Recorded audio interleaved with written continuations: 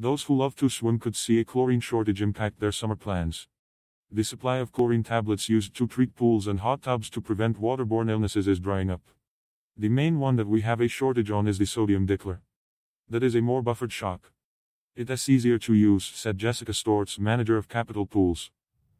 Combined with what Storts called unprecedented demand, perhaps from families seeking socially distant summer fun, a fire last summer at a plant where chlorine tablets are made contributes to the shortage. Storts told WRAL News that from 2019 to 2020, pool sales went up 500%. This year, it is even busier.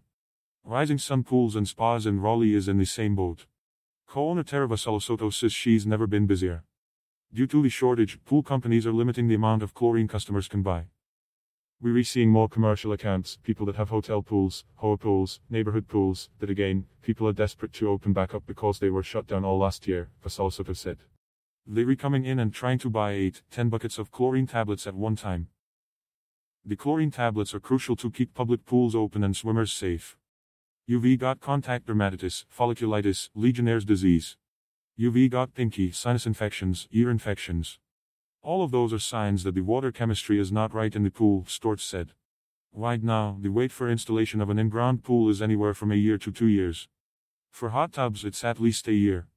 Julia Hirschberger ordered hers back in August and was told due to manufacturing she won't get it until June. It is certainly a luxury. You can't complain too much about not having a hot tub. There are certainly bigger problems in the world than that, she said.